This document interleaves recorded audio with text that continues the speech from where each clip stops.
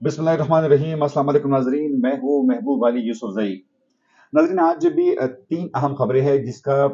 तजिया करना जो है बहुत ज़रूरी है और आपके सामने ये तीनों खबरें रखेंगे। सबसे पहले जो एक ब्रेक थ्रू आई है खबर आई है कि हुकूमत और साथ में पाकिस्तान तरीके साथ ने बिलाखिर मेज पर बैठने और मुजाकर करने का फैसला कर दिया है। इस हवाले से अगर हम जमात इस्लामी के रोल का ज़िक्र ना करें तो ज़्यादा होगी। जमात इस्लामी के अमीर सिराजुल हक ने गुजशत रोज न सिर्फ़ वज़ीर अजम पाकिस्तान शहबाज शरीफ से मुजाकर के वो उनके रिहाइश गाह पर पहुँचे और एक वफ्त की शक्ल में उन्होंने पहले शहबाज शरीफ से मुजाकर किए और जब शहबाज शरीफ की तरफ़ से उनको ग्रीन सिग्नल मिल गया तो उसके बाद ये वफ्त जो है, ये इमरान खान के पास जमान पार्क पहुँचा, जहाँ पर इमरान खान के साथ उन्होंने एक वफ्त की शक्ल में मुजाकर किए। जिस पर इन मुजाकर पर पहली दफ़ा इमरान खान ने जो है आमादगी ज़ाहिर की है और न सिर्फ़ आमादगी ज़ाहिर की है, बल्कि साथ में इमरान खान ने उसके बाद तीन रुकनी कमेटी भी तश्कील दी है जो कि मुजाकर इस अमल में बाकायदा शिरकत करेगी इस कमेटी में जराये के मुताबिक परवेज खटक शामिल होंगे जो कि सबक वज़ीर अला खैबर पख्तूनख्वा रहे हैं और सबक वज़ीर दिफा रहे हैं। साथ में पंजाब से पाकिस्तान तरीके साहब की जो दो अहम अरकान है जिसमें इजाज चौधरी और महमूद रशीद शामिल है तो वो इस कमेटी के अरकान होंगे। वो कि अब तक हुकूमत की जानब से कमेटी के अरकान का ऐलान नहीं किया गया है, लेकिन फ़िलहाल मुबसरीन का ये ख्याल है कि एक बहुत अच्छी और एक बड़ी ब्रेक थ्रू है कि कम अज कम दोनों फरकें जो है वो अब मुजाकर के लिए बैठना चाहते हैं और पाकिस्तान में इस वक्त जो एक लॉ ऑर्डर की सूरत हाल है, जो एक अफरा तफरी फैली हुई है खासतौर पर उस उस उस अफरा तफरी के बाद या उन हालात के बाद कि जब हुकूमत ने पंजाब में इलेक्शन कराने से इनकार कर दिया और तहरीक साहब मुसलसल ज़ोर दे रही है कि पंजाब में हर हालत में इलेक्शन जो है, वो होने चाहिए। जिस तरह कि आप सबके इलम में है कि उसके बाद किस तरीके से सुप्रीम कोर्ट ने इस पूरे बात का एक सो मोटो एक्शन लिया और बाद में हुकूमत को यह हिदायत भी जारी की कि 14 मई को पंजाब में हर हालत में इलेक्शंस कराए जाए। तो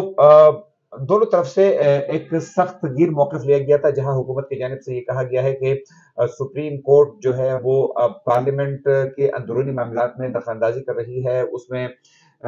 अपने जो उनका जुरिस्डिक्शन है, उससे बाहर निकल रही है। तो साथ में पाकिस्तान तरीके साहब और जुडिशरी के चंद जजिस का ये कहना है कि जजिस का फैसला जो है वो हतमी है और हुकूमत को अब हर हालत में इस फैसले को मानना पड़ेगा।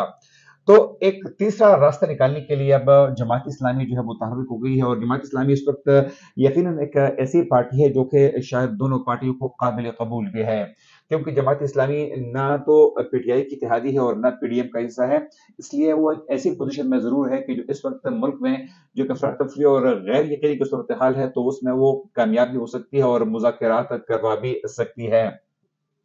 तो ये तो नजरीन थी पहली अहम खबर।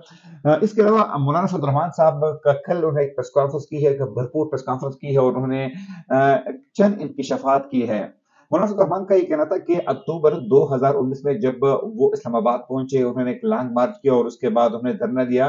तो उस दौर में चौधरी परवेज इलाही, चौधरी शुजात हुसैन और साथ में उस वक्त के जो दो अहम जनरल थे, यानी जनरल फैज और जनरल बाजवा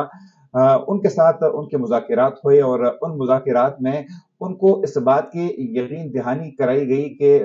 पाकिस्तान तरीक इंसाफ की हुकूमत जो है वो मार्च में इलेक्शन कराएगी, मार्च 2020 में इलेक्शन कराएगी और इस शर्त पर, इस वादे पर उन्होंने वो धरना जो है वो एहतजाजी धरना खत्म किया था।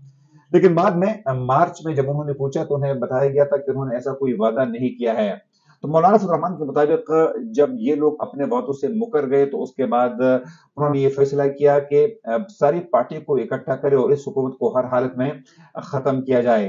मौलाना फजलरहमान का मजीद कहना था कि इस हवाले से उन्होंने पीडीएम के इजलास में ये तजवीज दी कि सिंध में जिस वक्त पाकिस्तान पीपल्स पार्टी की हुकूमत है तो उसको खत्म किया जाए असम्बलियों से इस्तीफे दिए जाए और पूरे मुल्क में धरने और एहतजाज शुरू किया जाए। तहम पाकिस्तान पीपल्स पार्टी ने उनकी इस तजवीज से इतफाक नहीं किया और उनका ये कहना था कि अदम अतमाद जो है वो वाहिद रास्ता है कि जिससे हम इस हुकूमत को खत्म कर सकते हैं।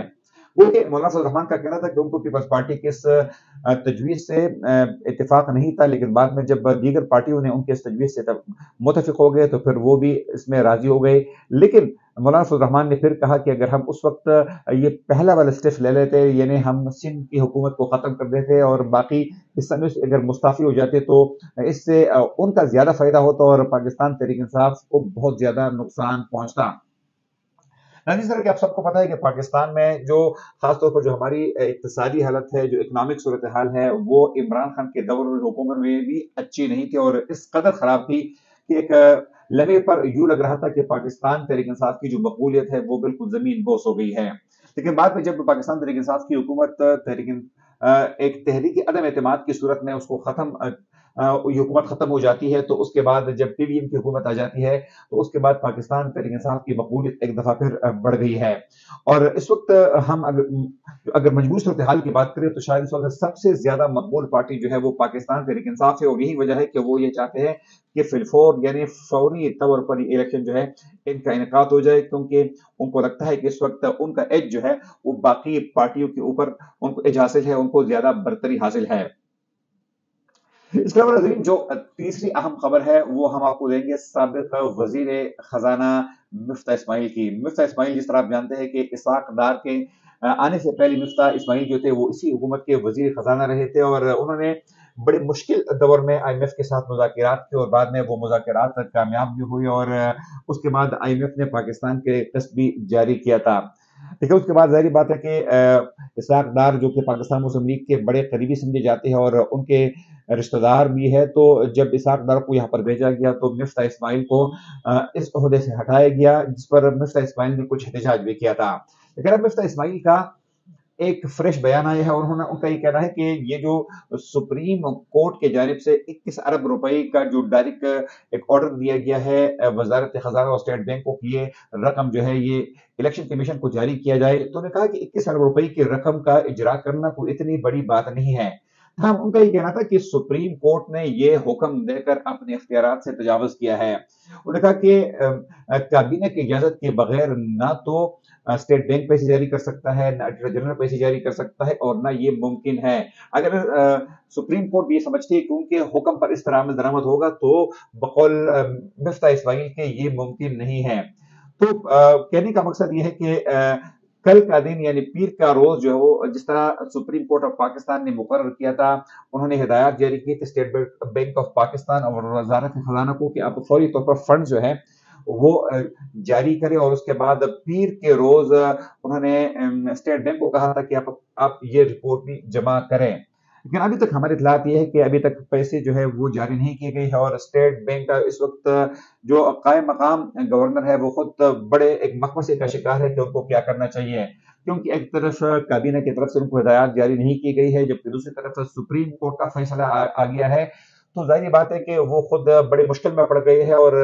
कुछ मुबसरीन का ये ख्याल है कि उनको इस सूरत हाल में पैसे जारी करना उनके लिए शायद बहुत मुश्किल होगा। इसके बाद क्या होगा? कानून बहरी ये कहते हैं कि अगर इस मौके पर पैसे जारी नहीं की जाते तो जहाँ सुप्रीम कोर्ट की तरफ़ से एक एक्शन नज़र आ सकता है और वजारत खजाना को एक कंटेम्प्ट का नोटिस जा सकता है, स्टेट बैंक को कंटेम्प्ट का नोटिस जा सकता है। इस तरीके से वज़ीर शहबाज शरीफ और काबीना को कंटेम्प्ट के नोटिस जो है वो भेजे जा सकते हैं। तो साथ में हुकूमत जो है वो भी खामोश नहीं बैठेगी और इसका वो एक काउंटर अटैक जो है वो ज़रूर करेंगे और हुकूमत के पास भी कई ऑप्शन जो है वो मौजूद है। इस जमाने में ये मुमकिन होता था कि इमरजेंसी जो है वो फौरी लगाई जाती थी, लेकिन अब जो कि सदर का ताल्लुक जो है वो पाकिस्तान के हिसाब से है और अरिफ अलवी बहुत वफादार रहे हैं। अब तक उन्होंने अपने एक्शन से ज़ाहिर किया है इमरान खान के तो हुकूमत के लिए चूँकि इमरजेंसी में सदर का इख्तियार बड़ा वाजे है तो इसलिए हुकूमत के लिए इमरजेंसी लगाना तो शायद इतना मुमकिन नहीं है। लेकिन इसके अलावा हुकूमत के पास ये है कि एग्जेक्टिव ऑर्डर वो जारी कर सकते हैं। जिस तरह पुराने जमाने में आपको याद होगा कि जब इफ्तार मोहम्मद चौधरी की रजिस्ट्रेशन की बात की तो उस वक्त के वज़ीर आज़म यूसुफ रजा गिलाना ने एक एग्जेक्टिव ऑर्डर के तहत उस वक्त के जो चीफ जस्टिस थे इफ्तार मोहम्मद चौधरी, उनको बहाल किया था। तो क्या एक एग्जेक्टिव ऑर्डर के तहत इस वक्त हुकूमत अदले के खिलाफ कोई एक्शन ले सकती है? इसके अलावा क्या कोई बहुत बड़ा डिसीज़न लिया जा सकता है? ये वो तमाम सवाल है कि जिनके जवाब अभी आने हैं। तहम आईनी माहरीन का ये कहना है कि दो रोज army chief general Asim Munir और आईएसआई के जो सरबरा है, उनका पार्लियामेंट में जाना, वहाँ पर पार्लियामेंटेरियन को ब्रीफ करना, उसके बाद ये बयान आना कि अयीन बालादस्त है पार्लियामेंट जो है वो सुप्रीम इदारा है। उसके बाद ये बयान आना यकीन ये हुकूमत के लिए एक सकून की बात थी। हुकूमत के लिए एक ताज़ा हवा की लहर से कम नहीं थी। और इसके बाद हुकूमत को यकीन एक एक एतमाद हासिल हुआ है कि उन्होंने जो स्टांस लिया है तो शायद उस स्टांस से वो पीछे हटने के लिए तैयार नहीं है। न सिर्फ़ पाकिस्तान मुस्लिम लीग नून, बल्कि Pakistan Peoples Party J U I और साथ में उनकी जो दीगर तमाम इतिहादी पार्टीज़ है, सबका एक स्टांस है कि पार्लियामेंट के बालादस्ती पर किसी तौर पर भी समझौता नहीं किया जाएगा। तो गेम ऑन है और देखते हैं कि कल मजीद क्या सूरत हाल डेवलप होती है। अनटिल देन अपने मेजबान महबूब अली को इजाज़त दीजिए। अल्लाह हाफिज़।